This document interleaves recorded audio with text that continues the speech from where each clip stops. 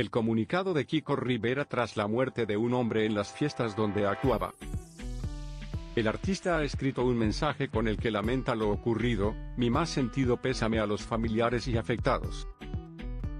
Este viernes se han celebrado las fiestas de Matamá, en Vigo.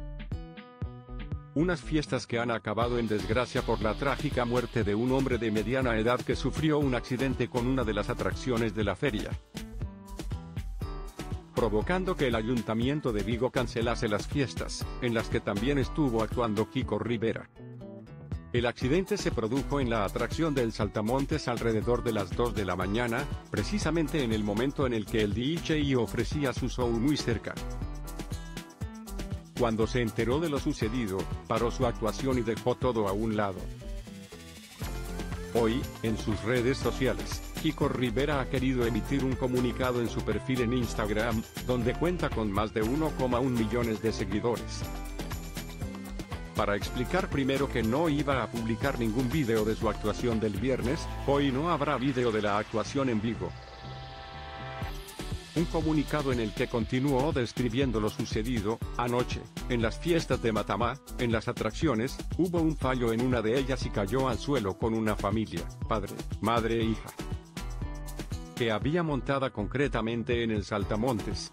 El padre, de unos 35 años aproximadamente, quedó atrapado y recibió un fuerte golpe en la cabeza que acabó con su vida. Su pareja y su hija están vivas gracias a Dios al salir despedidas. Todo ocurrió mientras él actuaba. Él, por otro lado, estaba actuando en ese mismo momento, todo esto mientras yo estaba realizando mi show. Evidentemente, nada más enterarme, corté el evento un poco en shock después de la noticia. Desde aquí mandarle mi más sentido pésame a los familiares y afectados. Que descanse en paz. No quiero olvidarme de la comisión de fiestas. A los cuales también les mando un cálido abrazo. Ha concluido Kiko Rivera, que adjuntaba unas imágenes de la atracción, y de un crespón. Sigue el canal de Diario As en WhatsApp, donde encontrarás todo el deporte en un solo espacio, la actualidad del día, la agenda con la última hora de los eventos deportivos más importantes, las imágenes más destacadas, la opinión de las mejores firmas de AS, reportajes, vídeos, y algo de humor de vez en cuando.